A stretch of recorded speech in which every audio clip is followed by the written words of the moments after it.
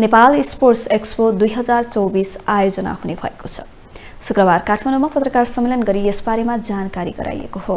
नेपाल पुस्तक तथा स्टेसनरी व्यवसायी महासंघको आयोजनामा हुने एक्सपो आगामी वर्षको असोज तीनदेखि पाँच गतिसम्म सेप्टेम्बर उन्नाइसदेखि एक्काइससम्म काठमाडौँको वर्ल्ड ट्रेड सेन्टर त्रिपुरेश्वरमा हुनेछ। खेलकुद सामग्री बिना शैक्षिक सामग्री अपुरो र अधुरो हुने कुरालाई मनन गर्दै एक्सपो आयोजना गर्न लागि महासङ्घका महासचिव शिवसागर शर्माले बताए।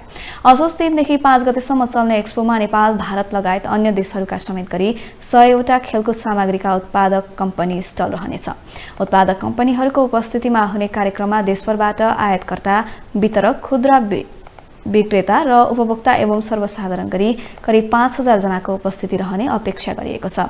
शिक्षण सिकाइमा आवश्यक शैक्षिक सामग्री तथा खेलकुद सामग्रीको आयात प्रयोग र उपभोगमा सहजता ल्याउने अपेक्षा आयोजकको रहेको छ। उत्पादक आयातकर्ता र खुद्रा विक्रेताको अन्तर्क्रियाबाट स्वदेशमै उत्पादन र प्रयोगमा उत्प्रेरणा जगाउने विश्वास लिएको छ। खेलकुद सामग्री बिना शैक्षिक सामग्री अधुरो र अधुरो हुने कुरालाई मनन गर्दै यस एक्सपोले पूर्त आवश्यकतालाई सम्बोधन गर्नेछ भन्ने विश्वास गरेका छौँ।